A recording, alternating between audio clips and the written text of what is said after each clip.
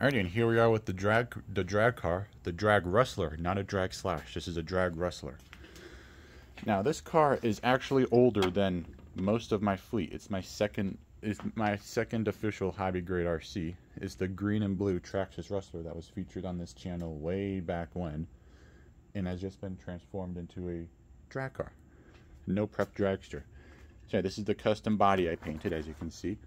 RC Racer YouTube right there. I put this cool flame design on it. And this flame isn't um a sticker, it's actually it's painted. Like it's painted, you can kind of see a little bit of underspray uh, with the black, but yeah.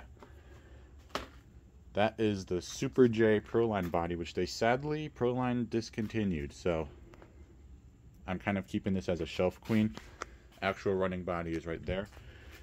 But yeah, as you can see, the running body is identical because I just love the black with the red flame.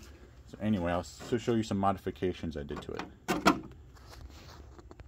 Alrighty, so here we are under the hood.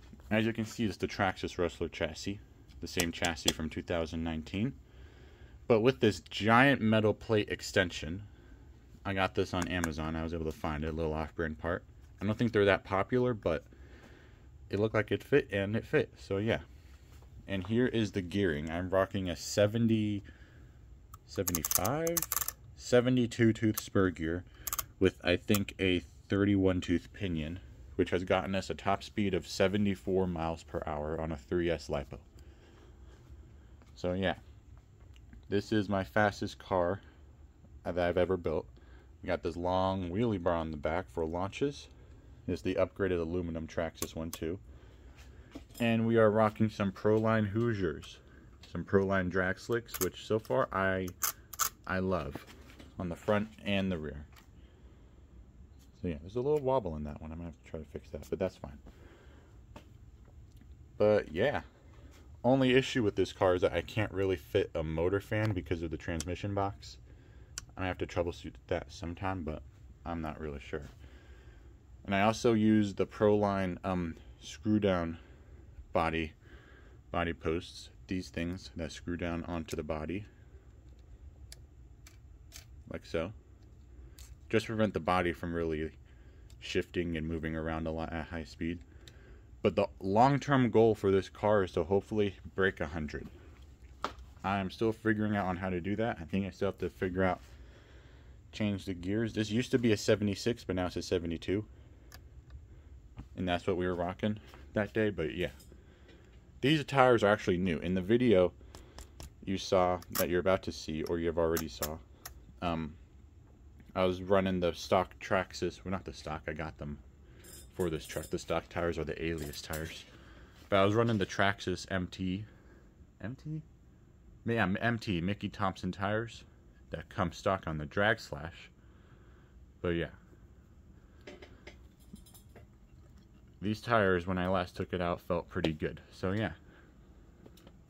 All in all, a great, great, great, great, great run. I think today we hit a top speed of 74 miles an hour, which is kind of the top speed I was like, bet I've been hitting for the past year or so. Now I want to try to go faster, so I think I do have a bigger pinion I might try to fit on for next time.